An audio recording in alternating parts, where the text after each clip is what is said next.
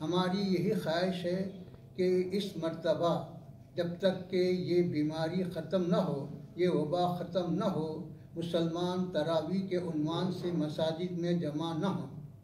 बल्कि अपने अपने घरों में जैसी सहूलत है अदा कर लिया करें खुश आमदीद नाजरीन मैं सैयद गौस मयुद्दीन आपका आई एन ई टुडे पर खैर मकदम करता हूँ यूं तो होती है हर न्यूज़ पर आपकी नज़र हम देते हैं रोज़ाना आपके लिए खास खबर चलिए जानते हैं आज की खास खबर बिसमीम अलहमदिल्लाबीआलमीन अर्रहमानरहीम वसलात वसलाम सैदुलम्बिया वलमसलिन वाला आलि तयबीन वासहाबिलक्रमीना अजमाइन अम्मा पर हजरात इससे पहले इस कोरोना वायरस के आ जाने के बाद मुख्तलिफ मकातब फ़िक्र के व मुफ्तियान को जाम निज़ामिया में जमा किया जाकर एक मुश्तरक मुतफ़ा अपील मुसलमानों के लिए जारी की गई थी कि इस बीमारी और वबा से बचने के लिए मुसलमान अपने घरों ही में पंजगाना नमाजें अदा करें और इसी तरह जुमे की नमाज को जाने के बजाय जहर की नमाज अपने घरों में अदा करें इस अपील का मुसलमानों ने खैर मकदम किया और उस पर अमल किया इसी तरह अब रमज़ान मुबारक की आमद है इस मुबारक महीने में तरावी का बड़ा ही अहतमाम होता है और कसर इज्तमात होते हैं इस सिलसिले में भी हमारी यही अपील है कि तरावी की नमाज सुन्नत है जबकि फ़रज़ और वाजिबात में रियायत दी गई तो सुन्नत में बतरीक़ अला रियायत हासिल होगी हमारी यही ख्वाहिश है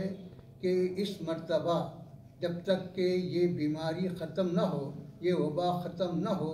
मुसलमान तरावी के उन्वान से मसाजिद में जमा न हों बल्कि अपने अपने घरों में जैसी सहूलत है अदा कर लिया करें घरों में भी कसीर इस्तेमाल न करें समात कुरान के नाम से हो या तरावी के नाम से हो और इसी तरह जो है हम तमाम मुसलमानों से अपील करते हैं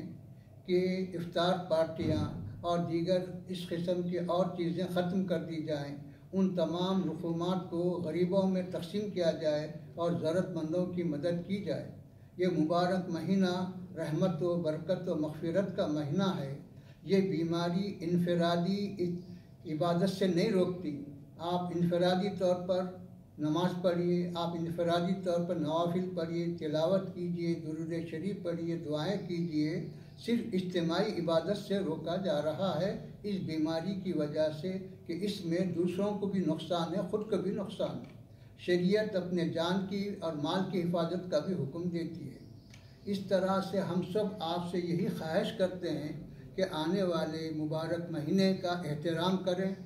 इबादतों की कसरत करें ज़िक्र करें तोबा व इस्तफ़ार करें और अल्लाह सुबहान तला से दुआएं करते रहें शायद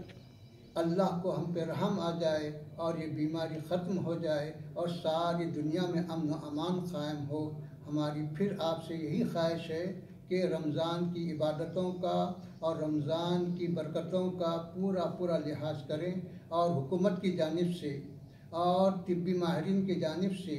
जो पाबंदियाँ आयद की गई हैं उसका पूरा पूरा लिहाज करें और उसकी पूरी पाबंदी करें अल्लाह हम सबको नेक तोफ़ी दें